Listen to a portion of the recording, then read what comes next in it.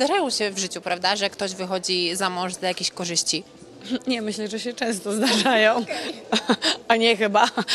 No to wiesz, często jest tak, że życie pisze dużo bardziej zaskakujące scenariusze niż chociażby nawet scenarzyści.